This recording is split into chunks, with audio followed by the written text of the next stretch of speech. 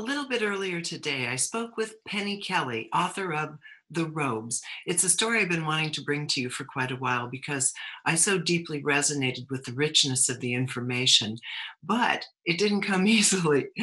Penny was an unemployed mother with four children on welfare, trying to study for a pre med degree when her life started falling apart. She got divorced um, had no real support, had a Kundalini awakening that just blasted her open. And all of a sudden, these little men in brown robes started appearing to her in her kitchen, her bedroom, her living room, and started showing her glimpses of the future. It was very startling. She was not a willing participant initially, but the information that she finally documented and finally brought through is absolutely stunning in its implications. So, Without further ado, we'll go to my conversation with Penny Kelly. Welcome, Penny, and let's go back down memory lane to what your life was like when this all started in the late 70s. It was pretty, um, well, I could say it was pretty boring.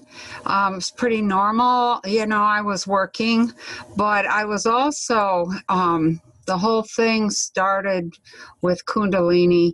I had a full blown series of Kundalini experiences, and that just kind of changes everything about your consciousness and um, your perception and your ability to know and to see into other dimensions and communicate with other beings.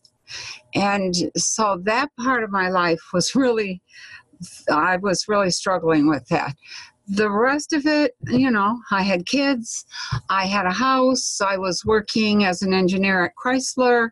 I went to work every day, you know, paid my bills. That was it. Um, and I, I would say that at that time, I was pretty small minded. I was very uncaring. Uh, and I wasn't paying any attention to what was happening in the world. I didn't care all, you know, I was caught up with my own self and my own life. And when the robes came along, all of that changed dramatically. So, um, you know, there was just this combination of things that came together.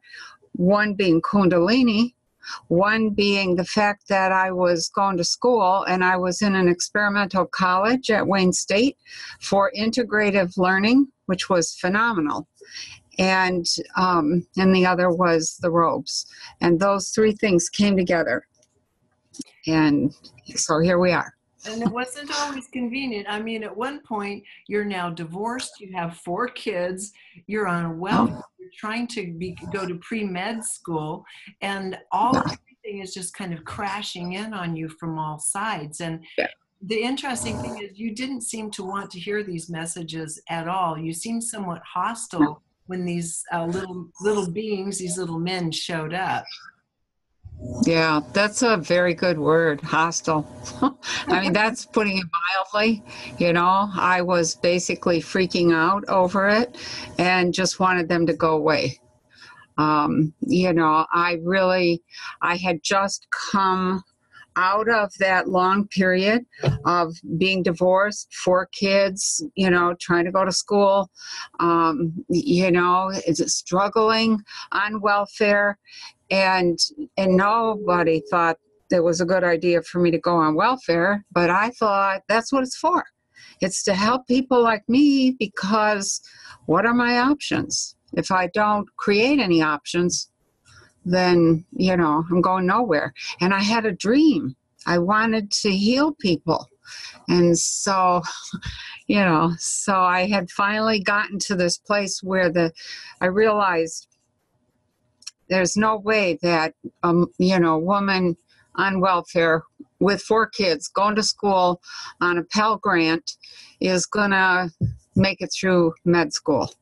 It just wasn't going to happen. And so i switched to engineering and um, and thought, oh, I'm doing this for the money. You know, it was, the doors were opening for women at that point. It was 1978, and so I thought, okay, let's go for engineering. I had always been interested in how do things work, um, you know, how and why. What makes that tick?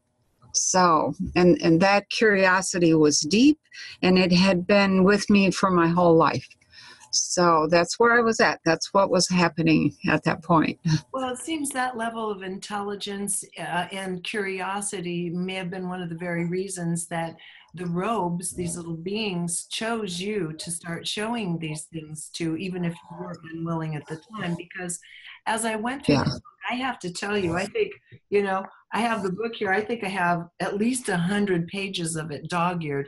It is so dense with nutrients, so to speak, for the, the mind and soul, and ultimately the body. But uh, you know, to begin grappling with what looks what the future looks like like was not an easy thing. So let's begin with what they originally showed you. And toward the beginning of the book, they were showing you that many changes are coming for humanity. And they needed showing you maybe others now so we could contend with it when the time came. Yeah, I think that's really true. Um, you know, they started out, they just wanted to show me some pictures. I just wanted them to go away. So after the first three visits or so, you know, I thought, okay, I'll look at the pictures, they'll go away. Well, the pictures were so stunning that there was no going away. You know, you can't not know once you know something. Uh, You can't unsee or unhear. And so that was really a big change for me. You know, they showed me pictures of uh, that went all the way to the year 2413 and i went into a number of those but they started with this picture of the planet and that there would be changes in the planet herself and changes in uh, what would I say? Our our world changes in our globe and changes in the United States and in the population in the consciousness all the institutions. I mean they just rolled right through. It's kind of like having a bulldozer in your life so Right. No, absolutely. I mean, it would be shocking for anyone. Well, one of the things they showed you were some of the earth changes that we have heard about from Edgar Cayce and other people in times past. There would be kind of catastrophic events, earthquakes here and there that would change the geography of it. And I would encourage people to maybe go to some of the formerly laid out information on that so we don't have to spend too much time on those earth changes.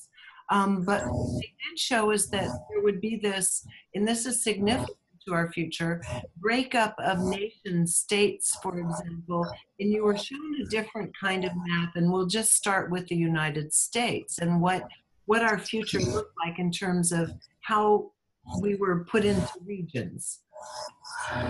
Yeah, um, they, you know, one of the things that was clear was that the coastlines would become difficult to live on and dangerous to live on.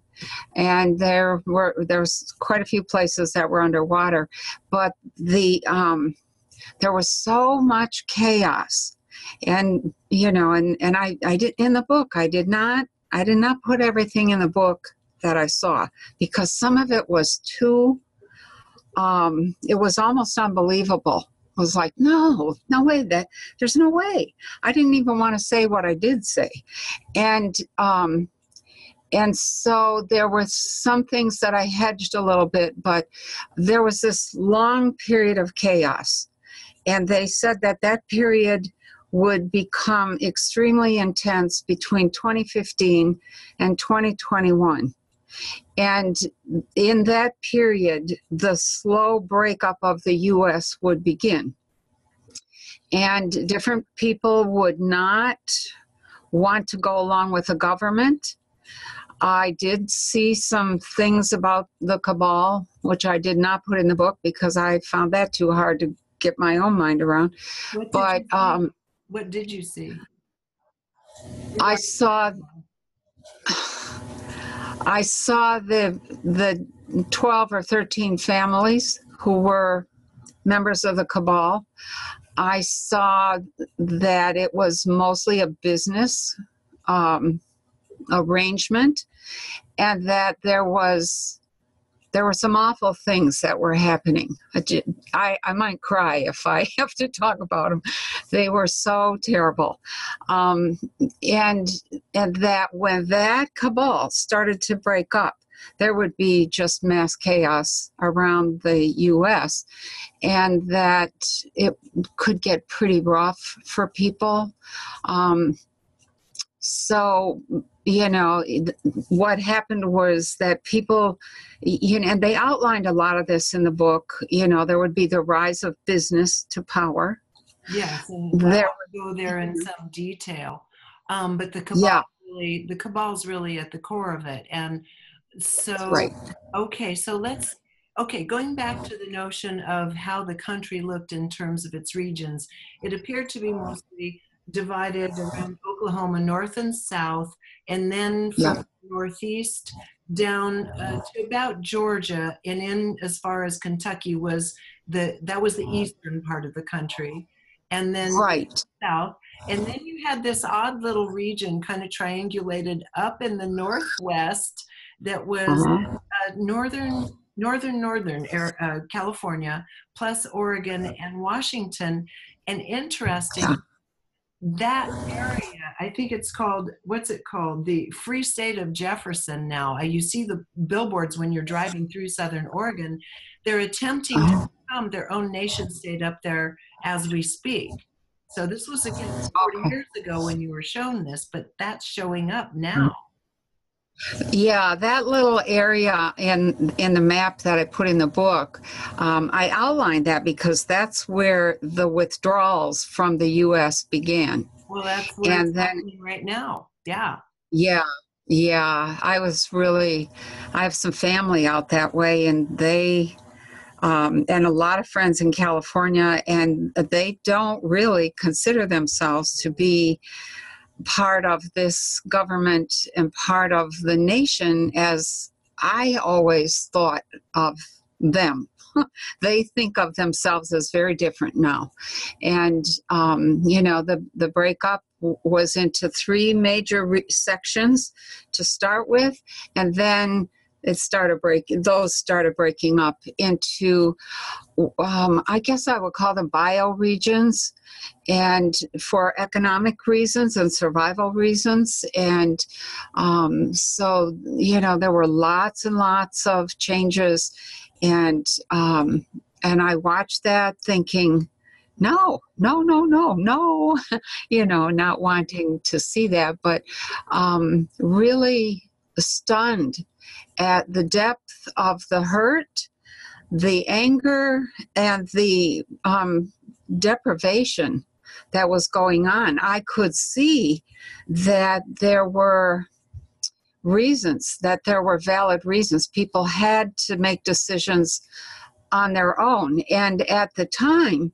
everybody had stepped into and you can see this now even you know today still um, they had stepped into this attitude of the government will fix it. The government will do it. The government is responsible for everything. And the government according to the robes had grossly overstepped their bounds way out in you know out of the boundaries of governing and governance into all sorts of silly foolish um, decision making and um, and they said you know the result of that overstepping of bounds and people giving away their power is nobody has any inner authority anymore.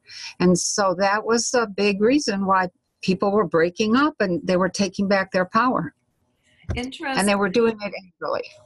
Yes. And interestingly, well, a couple things. This is just an aside. And I keep wondering where it's coming from. And uh, Zeus, my husband Zeus, and I have joked about it.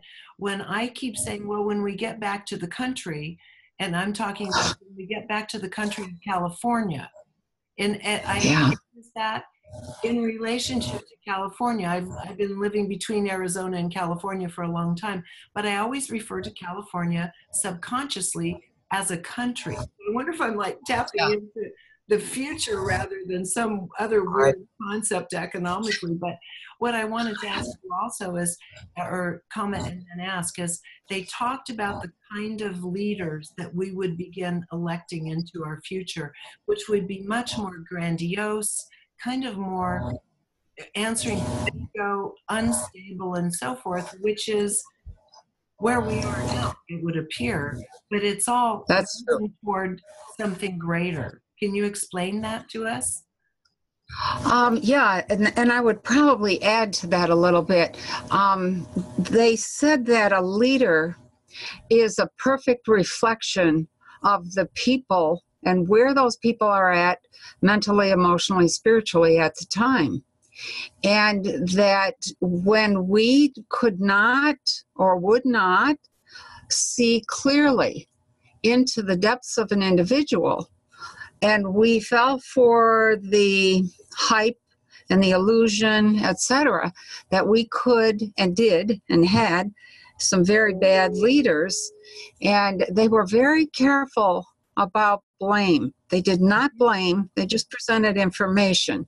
But they made it clear that that leader or those leaders were our choices because we were seeing and assessing at too shallow a depth they then said if you're going to have good leaders you know the leader should sort of come from the crowd because he or she has a certain set of skills a certain perspective certain level of wisdom is familiar with the issues involved in whatever the problem is.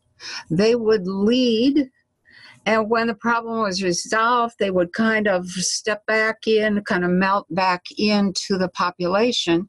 And another issue would come up, and maybe a different leader would step up. And um, they had a whole different way of assessing leadership. And they said that um, we would very soon we would have a, a period of temporary leadership um, that nobody would listen to, then everybody would complain about, and there would be a lot of people saying, you know, no, I'm not going along with that, kind of an anarchy. At the time, I didn't really know what anarchy was, but now I do. And, um, and that period would then be followed by gangs and a lot of uh, really serious chaos. And then there was um, finally, by about 2040, 2050, things were beginning to settle a little bit, and people had grouped very differently, etc. Um, so lots and lots of change. Well, within so, that, they said that there would be a move away from government leadership to the takeover of government, essentially what looks like government by corporations, which John um, uh, Confessions Economic Hitman, um, John Perkins. Yeah, John Perkins. Yeah, called you know yeah. hypocrisy, which we can see is absolutely yeah. well underway now. And one of the comments they made in the book, The Robe Robes Made, was that a, a, a, king in times past or a proper leader is really there to help the people reflect their own inner authority and desires and bring that out of themselves to create a rich and complex society, not what we have now. Well, yeah.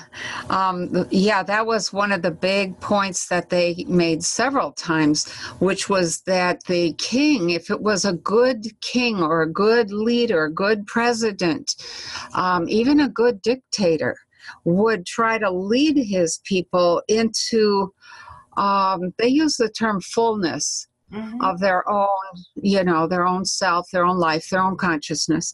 And that was something that, um, you know, that I think we started to see with, um, you know, with JFK. He set a few goals. It was to the moon, you know that's um, you know maybe better than having a war. So um, there you know that was an important piece that the leader most they said most of the leaders that are going to arise after 2010 that was their their turning point for the, when the demise of the what did you call it? The corporatocracy corporatocracy? Would be yeah where the corporations are exerting the greatest influence yeah. Yeah. I, I did ask them so when does this all begin? And they said it's already begun. And and i i thought oh okay because i couldn't see it at that time you can certainly see it now. And i think you know they when they said it's already begun in my own thinking i thought okay this is 1980 um, you know so 20 or 30 years from now is what they said that period would be run by corporations in the background who were using governments as puppets. The governments made the laws that favored the corporations and the corporations ran the money and made the decisions and did whatever they want um, wanted. And so i thought okay 20 or 30 years that's why they're using 2010 as this turning point. And it got worse from 2010 on and then reached a, a peak of craziness between 2015 and 2021 and um, and I think you know the worst years were 2017, 2018. So we're right there right now, and lots of information is coming out, and um, and some of it I've already seen, and some of it because when Kundalini happens, uh, you become clairvoyant and clairaudient. I went looking you know, to see what else I could see. And I also began to see, um, how do I call it, like hints. Like I'd see the very earliest threads of something. And so I would watch something unfold and I would think, oh, I know right where that's going. And so that was hard to, it was hard to have to see that and to realize that if there was going to be a change, it had to come from the top because the average person doesn't have the power or the reach to take down um, and they the cabal and they never called it the cabal. They always called it the families. Um, that was their term 12 or 13 families. Um, and then there were a couple key people who were not in the family but they you know murdoch was in the family but he was a key person for ending the corporatocracy. So uh, Gorbachev was the first one, Murdoch was the second one. And he didn't have any intention of ending it. Murdoch didn't, but his business decisions ended up going in that direction. So, um, and those were the only two people that I, you know, recognized in that whole thing. But um, leadership was, they focused on leadership for a lot. They said most of your leaders in the period between 2010 and 2020 are going to be spiritual leaders, spiritual teachers, you know, deep thinkers, philosophers, stuff like that. So, um, you know, they said you're going to have a real struggle with your quote elected or um, what do you call that instituted governments, and we are it's it's rough right Absolutely. now. So and there's such a great polarization happening, and one of the things, I mean, the timing makes sense because Reagan came into power right after they told you this, and this was the beginning of the rise of the corporatocracy, and so that. It actually started with the death of JFK. Well, it started with yes, you're right. In the families yeah. influence in particular, you're right. And then just right. public policy or legislative policy that allowed that to deepen under Reagan. And so that's right. we have this period of revelation of sorts where people are getting where they're being manipulated and conned and used as a pawn in the system by the corporatocracy and they're kind of done with it we're kind of getting to that stage which is time yeah. right right that's right that's right huge polarization in society yeah almost yeah like looking at dividing lines on a map right? Yeah. So you're seeing this is true. Unfold. And then what's one of the things that's controversial here in your book, but interesting, is they talked about how you would know that it's starting to crumble when women would start climbing into power in the legislature yeah. and stuff. And, and they said because it was actually not through some perceived merit and win that women were believing had occurred, but rather by default because a lot of the men in yeah. those positions had started bailing because they knew the system was doomed. It wasn't working anymore. So by default, women would be, have a little space to rise up. And I thought that's, that's right. Interesting. That's not how we, you know we perceive it on the ground right now. I know. I know. Um, they said, you know, when the rats begin leaving the ship, the women are going to step in and try to save it, and that it was not savable. But they, you know, and they said women would take the blame for much of the you know, of the disintegration and the um, fallout from the collapse of government. But they they were very clear in that they said, um, you know, it's not all going to happen at once. It, you know, and and I was, you know, was like just let it come down and cl- let's clean it up and and they are like no no no no no. It's going to be this jerky back and forth kind of process that you know it, it looks good today or this week or this year. And you know next week it's a disaster again, or this isn't working, or that's not working, um, and that it would be very difficult. Um, that people who were um, how do I call, how, let's see, people who were served by the old structures would still be alive and they would be hanging on to those old structures for dear life. There would be a whole group of new people, young people, who were moving into a world that was vastly different in its lifestyles and in everything, in every way and and the two worlds would just kind of like come apart. The old ones would try to hang on to what they had and make that work. And eventually, when they were all gone, we would be in this brave new world. And I'll tell you what, it was, um, you know, it was very different from what we, from what I grew up with. so up to that point in time, up to 1978, 980, absolutely was completely yeah and that wouldn't have been a normal vision for anyone to have had. But they did show you very specific things too, such as the Berlin Wall coming down and the Soviet Union breaking up. And they also showed you kind of a different view of Gorbachev than what a lot of people may have had in terms of who this being Maybe you can talk about that a bit. Yeah, they were um, they were very clear that the entire um, population of the planet was here to evolve themselves. That was the point that they made again and again. It's about personal evolution, it's about the evolution of the human. And so I'm like, okay, uh, yeah, all, all right. um, yeah, but I had really no clear idea at all about what that meant or what was involved in that, not like I do now. After 40 years of researching consciousness and having entered some extraordinary states of consciousness, um, we have a long way to go. And, uh, and that's what they were referring to, is that we are going to evolve into those states. So, you know, evolution is predicated on change.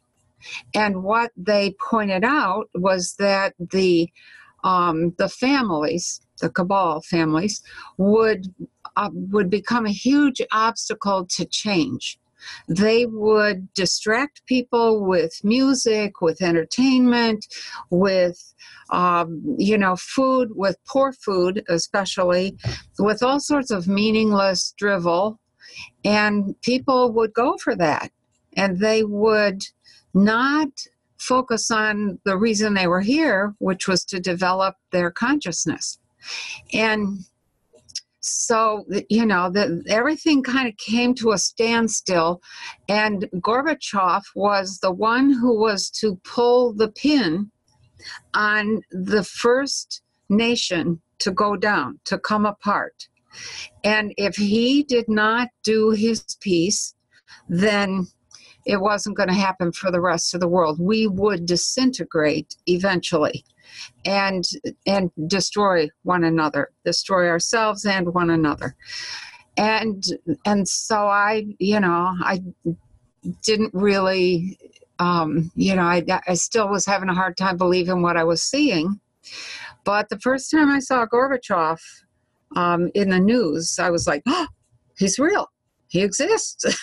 he's there's, you know. So then I started watching him, and sure enough, you know, he one day woke up um, and they said he his entire goal in coming here is to get his himself up to the top of the ladder, top of the heap in the USSR so that he could dissolve it and start the process of bringing nations down. Nations, from the position of the robes, nations did little more than create boundaries and barriers of selfishness, fear, and greed and they they didn't have a whole lot of use for nations. They weren't they didn't attack, but they made it clear that nations were um, a huge obstruction in terms of uh, developing global telepathy, global consciousness, you know, and, and so they um, were very, very interested in um, you know, in helping anybody like myself who was struggling with Kundalini, you know, they the robes kind of went around the world and just watched to see who was waking up, which is what Kundalini does. so, you know, long story short, Gorbachev came along, he pulled the pin, the USSR came apart, voila. Now, what is the US about? you know the us is it has to deal with the fact that it's a lone superpower it was only a superpower because they they had a, a worthy enemy in castaneda terms you know Ro- russia was a worthy enemy. Mm-hmm. without a worthy enemy where did we have to go? We had nowhere else to go except to begin evolving into the next state of being. And that's happening now and most people are not aware um, but it's we're headed toward a phenomenal future. And um, so back to gorbachev after he pulled the pin and the ussr came apart. Um, i saw rupert murdoch. He was presented in such a way that he, he would inadvertently um, begin the dissolution of the U.S. And so I watched him for years and thought he's not doing anything. I don't see anything. I don't see anything. And then and, and i never watched tv uh, never um, you know i just don't have any i don't have time for for that kind of stuff. And so, um, so I had a friend who I kind of got to know. Um, he came here, took my classes, and he talked about Fox TV all the time. And finally, one day I thought, okay, and, and every so often I'd hear jokes about Fox TV. And so one day I thought, let's just watch an episode or whatever they've got. It was a news program, and so, um, so I did, and was stunned to discover that they were skirting the issues. They were they were close to the truth.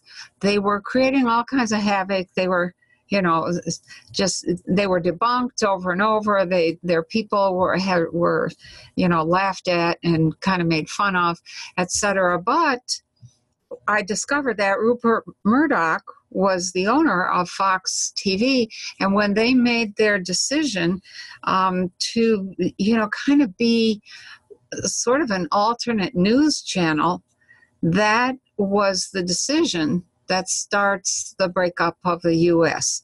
That that builds the the split and builds the you know the anger and the chaos. That so makes, here we are. Yeah, I mean, it Yeah. created, it be- was the beginning of a vast type of polarization we haven't known before in the psyche of the people of this country, even family members against family members. And you know, and so going over to the, going back to the current paradigm of the corporatocracy, which is not going to let go until the families let go, I wanted to read a quote out of your book because it was so, Okay. So relevant. So after once they start wresting power, this is how they do it. Quote, with control over huge amounts of wealth, their own spies, lawyers, communication, and customer service centers that are all enhanced. Also, they have armed security, assassins, and so forth. The corporations will step seamlessly into the role of governments. And that Right. Yeah, yeah. I I I remember when you know when that dawned on me that that was true. It was you know I wrote the book and yet I was still shocked when I realized that that was right on target. Yeah. So Yeah. yeah, So we're there, and the families aren't letting go. That's going to be a matter of probably just going through life cycles when many of them are no longer on the earth, and their offspring are part of the solution because some of the offspring are choosing the way of the families already. That's right. Yeah. That's true. And so then now the young people in this country are finding their own ways to kind of work together, whether it's a family that they've chosen, living a lot of people to a home. Extended family becomes a big part of our future. And this Yeah. Behavior, but also the emergence of something that is more like a world council. That scares people because they think of one world government, but that's not exactly what the robes showed you, right? No. No, the World Council was a council of elders. Hang on here. Um, and that council of elders really was something that um, operated in a totally different fashion. They were very ethical. They were very um, wise in so many ways. And so people would settle most of their issues in their region or in their family or, you know, in their local area. And when they couldn't, this, you know, this council of elders would send two or three or four elders into an area and they would live in that area, sometimes for six months and they would listen to the people they would look at what's actually going on um, and they would begin to um, get a real flavor for what's the bottom line truth here. And then they would make recommendations and those recommendations would go out to the local people. And and usually they were so wise and made such sense that people would say oh okay yeah. And they would also facilitate um, what i'm going to call personal growth in the people who were leaders in a region, and that personal growth would then be reflected back to the people themselves. It, was just a very different kind of system. Everybody was based in something that I'm going to call personal responsibility.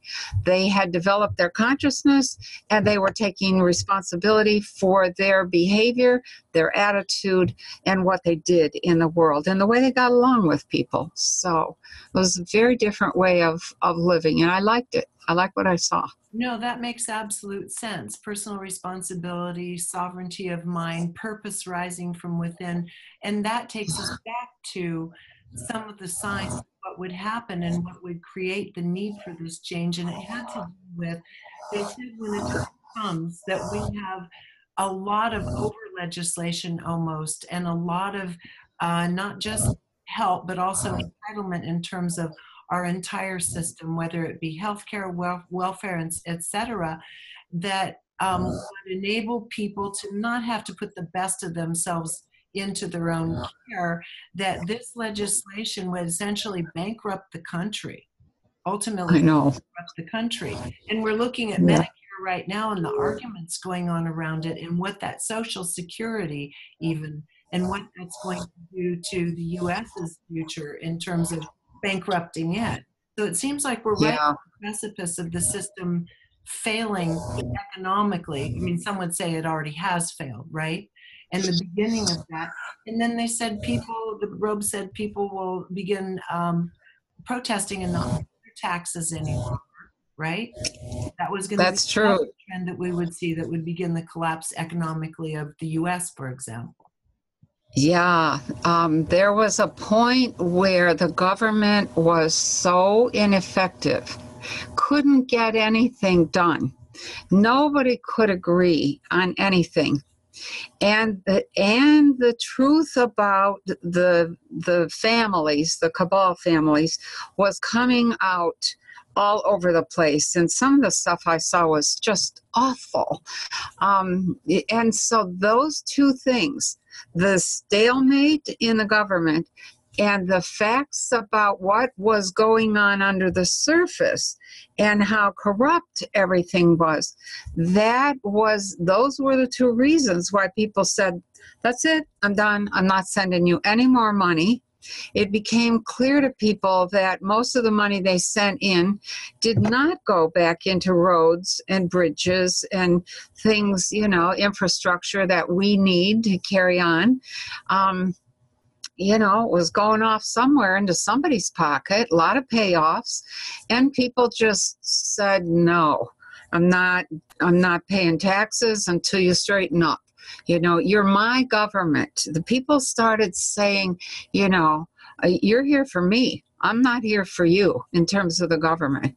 You know, government, you belong to me. And that whole thing just mushroomed, and there was some fighting in the mid, you know, between 2020 and 2030, civil wars, um, lots of lots of stuff that was not good.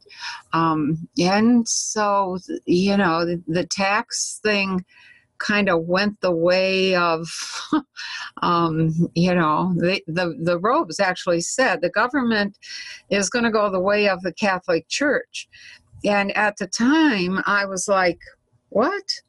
You know, what? That was struck me as just the weirdest reference. Um, you know, why would they say that? And then after they made that comment, I noticed that all this pedophilia stuff was happening within the church, and I was raised Catholic.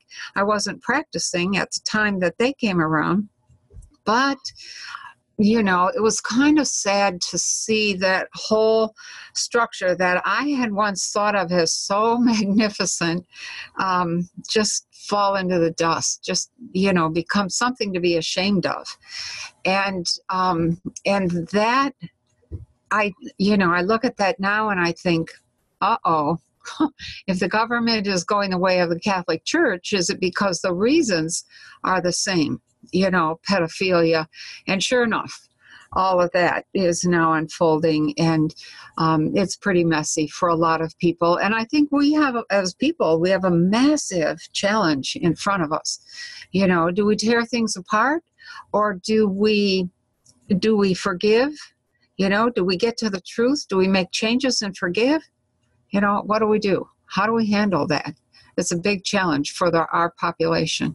Absolutely. So, one of the yeah, one of the people who I've interviewed from time to time is Sheila Gillette, which uh, channels the Theo group. And about, uh, let's see, I think it was eight years ago, they said that by the year 2020, we would start seeing significant shifts in the way the government was run. The two party system would start breaking up, that there would start being people that would rise to the top that would be reflective of the population's desires and values rather than just beholden to Right. themselves and the lobbyists, right? yes. Is that more That's right.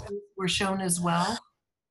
Yeah, yeah. There, um, by 2020, um, there was so much disintegration of the government that by 2021, even the people who were like over 70 and in 70 and above in age, even those people were saying, It's over. It's never going to be the, the way it used to be.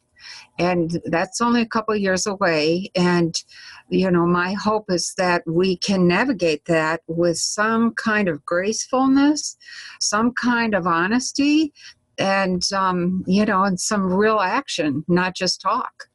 So we have a big challenge in front of us. And the Theo group is right on. Yeah, absolutely. so, and they also, I mean, they're, yeah. we're going to, by the way, because you and I talked beforehand, there is so much information here. And this is just the first book that we've already made the decision. We're going to break this into two or three different conversations because we've barely climbed into it. We're like 70 pages into the first book at this right. point. We want to bring up a couple more, a couple more things. And that is one of the things they talked about there would be a radical change in weather patterns and storm patterns and so forth, which we're beginning to see. And I'd like you to comment on that and the reason for it. But also, as a result of that, uh, major impacts on our economy as a result of resources that we can no longer rely on having access to and so forth. Yeah. Okay. Um, so, one of the things that the robes did with me was spend several visits in which the focus was on teaching me about frequencies. I did not really pay that much of attention to frequencies until they entered my life. And then what became clear to me through their teaching was that everything was frequency. And and so and then following that you know years later i began working with dr william levengood and spent 15 years working in the lab with him studying um, plasma and plasma activities and frequencies and etc so i have a pretty good understanding of plasma physics. I'm not a mathematician and I'm not a scientist, but it really pulled the whole frequency piece together for me into something that um, was it became it was stunning information so so now with that as kind of a preamble one of the things the robes said was that the weather was going to change, that there were cyclic changes. In other words, there was a cycle in the sun, a cycle in the planet, a cycle in the galaxy, um, you know, and a cycle in human consciousness as well, a cycle in the consciousness of the earth. And that we were coming to a point in time when all of those cycles were going to hit at the same time. So they said that is one of the reasons for the changes, um, the weather changes. The second thing they said was that the weather, the wind, the rain, the lightning, lightning is plasma, um, all of those things are um, are frequencies and they are responding to one another. So you have a big tree, it's a gigantic energy pathway from energy coming out of the earth and up through the tree. And that trees, when they get dry, their frequency changes in such a way that they begin to attract frequencies that have wet in them and they call it literally, they said they call the rain. And so when we cut down trees by the thousands, it changes the weather for that entire area. That was a problem. Water, also, frequencies, frequencies emanating from the water. When the water becomes full of junk or poison or changes its frequency, it loses its ability to call rain or to give off rain, or it gives off too much and we end up drowning. And so, what became clear, those are just two small examples, is that everything is in a relationship. And when we disturb the frequency relationship, we disturb all of the behaviors and that's you know that was a major piece of it and then the rest of the the change they attributed to our own ignorance um, and our lack of connection to mother nature Um, in the ancient times, um, indigenous groups and tribes had a relationship with the wind, with the rain, with the sun, with the earth, with the bugs and the animals and everything. And and that was a conversation that went on and everybody kind of listened to everybody else and everything else. And we do not do that anymore. We don't pay any attention to nature and that later came up as a point, a survival point, that we would have to be very um, careful that we uh, connected with Mother Nature again because we would have to begin communicating with her in order to get special effects like rain or like relief from rain or sun um, etc or temperature you know, winds bringing warm weather or cooler weather, etc. All of those forces are just doing whatever because we are not giving any input. They are they wait for our input.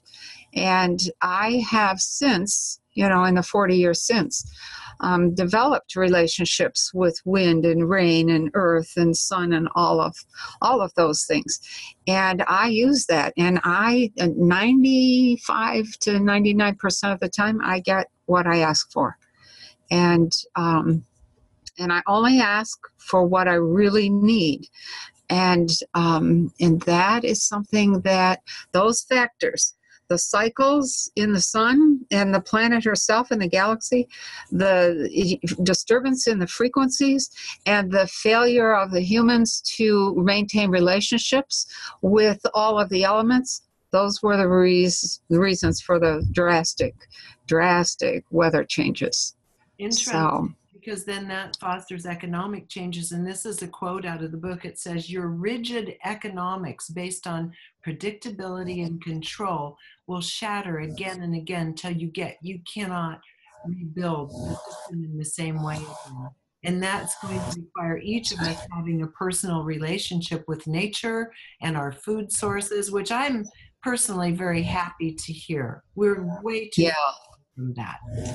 And that's I agree future is that relationship. There are some other really beautiful things about many beautiful things about the future that they showed you.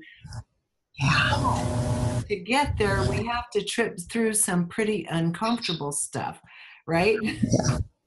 And we're right. Already, we're already starting to see that. But um, I think one of the things I want to bring up at, at, toward the end of the conversation, which we're approaching right now, is that there are businesses and there are economic parts of the economy that will continue functioning well um, even through all of these changes. And they gave you a few areas where that should do okay. And maybe you can right. those and then we'll just use a little bit about what comes up in our next conversation because there's so much okay. to talk about. Okay so the areas that they said um, well, first of all, let me say that there were changes in every single aspect of our life. Um, the the areas that would do well would be education, media, and communication. But there were massive changes in medicine, all of the medicine changes. You know, people no longer sent their kids to school. Um, you know, there were massive changes in the financial realm, um, big changes, of course, as we were talking in government, um, big, big, big changes in terms of transportation, um, lots and lots of stuff, very futuristic very um, and and so the media the education and the communication those were areas where um, i think it, it, they kept talking about this thing called the global network which yes. way, way back then was like okay what what exactly are you talking about you know and they kept saying this global network would eventually be joined around the entire planet and that it was key for our evolution and the development of consciousness that this was a global brain and it would symbolize global consciousness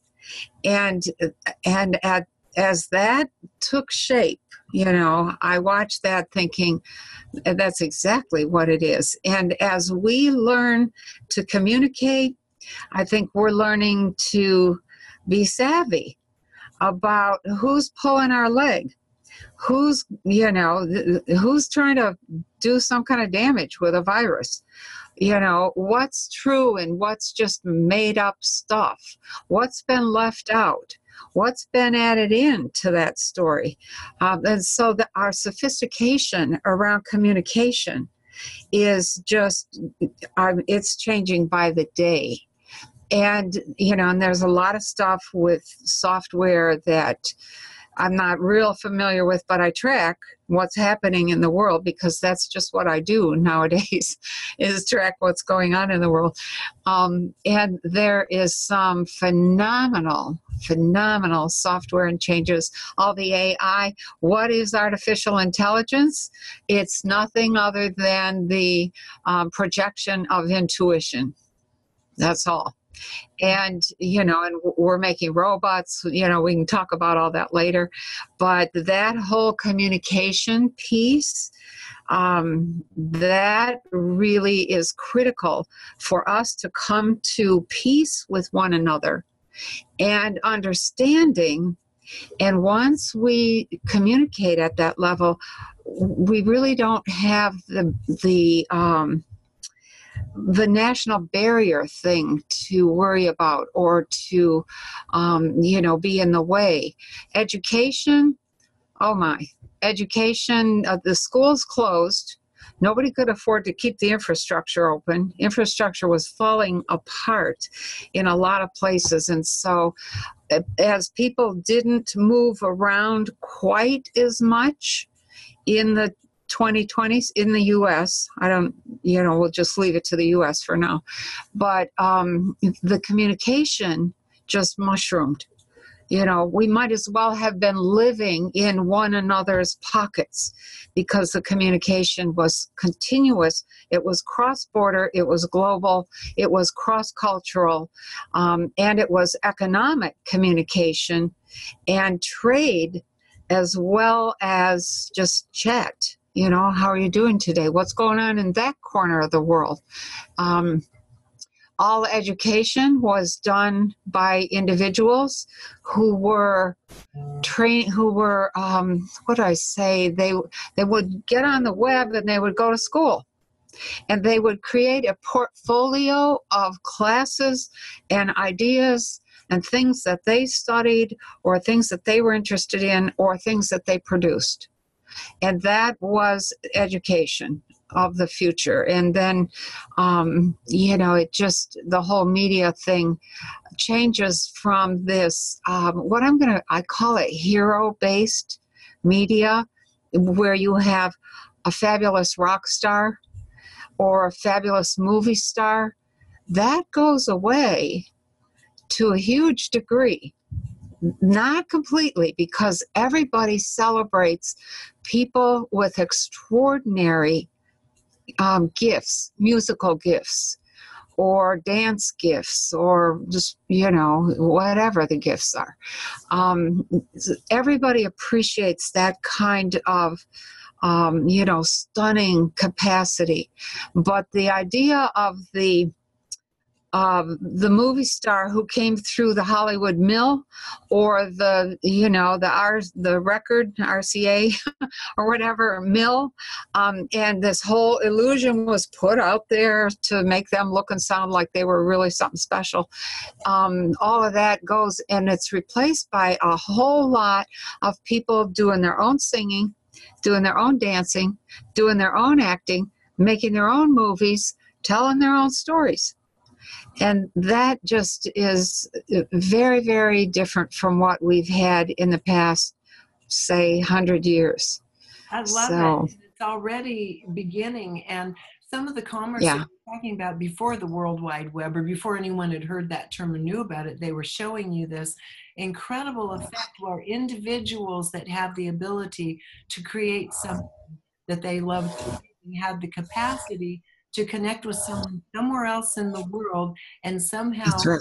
exchange goods with each other. Of course, we didn't know what that was, and well, now we have Craigslist and other ways of doing commerce Yeah. with each other. It is it's interesting because again, this these concept well, these realities were not part of everyday understanding.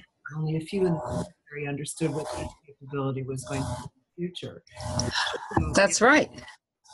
Yeah. Yeah, and I think in that whole process of, uh, you know, there was a recycling aspect to that, which I didn't say anything in the book, but, you know, my junk was somebody else's treasure over you know halfway around the world and um and there were people who did move from country to country or across country and they carried stuff for other people they were not big truckers you know, these were just people who said, I'm going to be leaving this town and going to that town. Did anybody need anything delivered? And they get a little something for that, you know, maybe something, maybe nothing. But, you know, we were getting rid of junk that we weren't using because everything was needed. There was a period where everything was needed um, because not much production was going on, and so very little waste was happening. Um, you know, I like that. I came from the farm. You know, we didn't waste anything. And we didn't have a trash man, and you know, we burnt our own papers, and we put our composted our garbage, and we took our trash, you know, our tin cans. We didn't have many tin cans because we hardly ever went to the store. We grew our own food, so you know there we're kind of moving ahead into a world where we have the best of the old and the best of the new and i kind of like that so It was, it was very encouraging because it's a much more cooperative and collaborative way to live.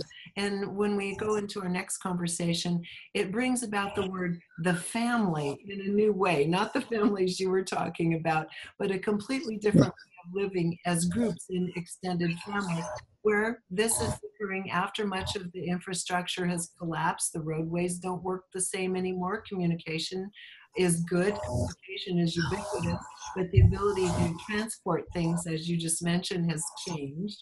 And we'll go into that. Another um, thing uh, you talk about in the book, I really love that we'll get into in our next conversation, is frequencies work with our brains and our memory and our ability to communicate with our higher self, which is really going to be the guiding system for our inner authority and sovereignty in the future. And that whole section of the book is beautiful. So we'll yeah for our next conversation because it's a big conversation.